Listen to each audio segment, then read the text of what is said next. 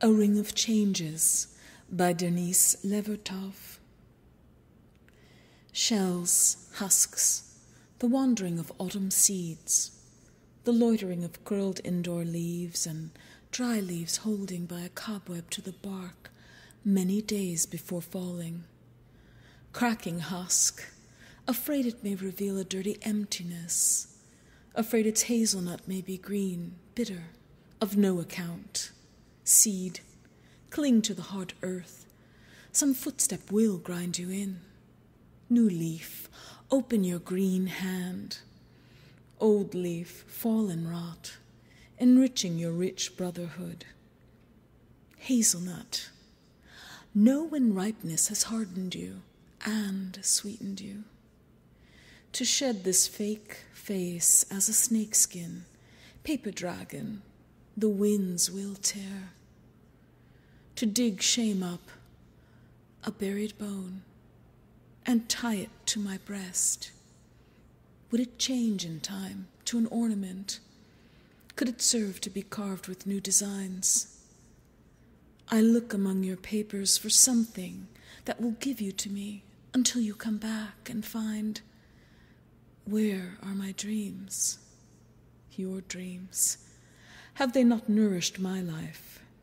Didn't I poach among them, as now on your desk? My cheeks grown red, and my hair curly, as I roasted your pheasants by my night fire. My dreams are gone off to hunt yours. I won't take them back, unless they find yours. They must return torn by your forests. Unremembered our dreams move together in our dark heads, wander in landscapes unlit by our candle eyes, eyes of self love and self disgust, eyes of your love for me kindling my cold heart, eyes of my love for you flickering at the edge of you. Among the tall elders of the hereafter, my father had become a foolish rose, his face beaming from among petals of sunset pink open as a daisy, a rose walking, tagging at the heels of the wise, having found a true form.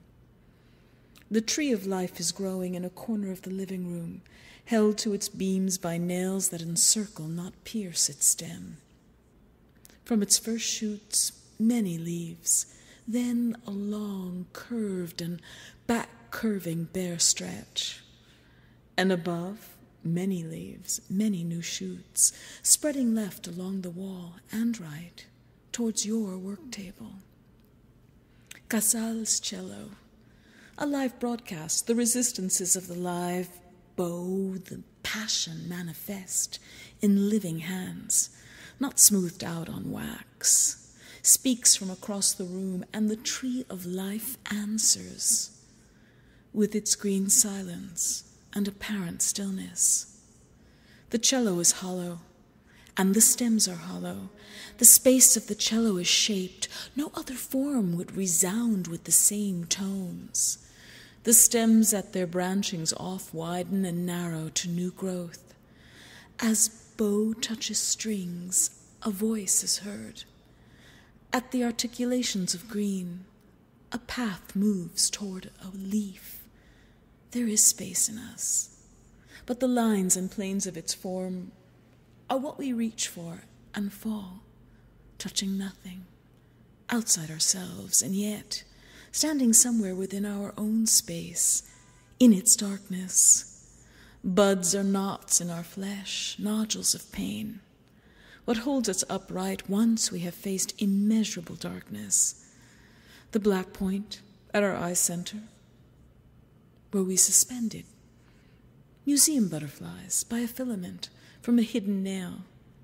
Has it broken when we begin to fall slowly, without desire? But we don't fall. The floor is flat. The round earth is flat, and we stand on it.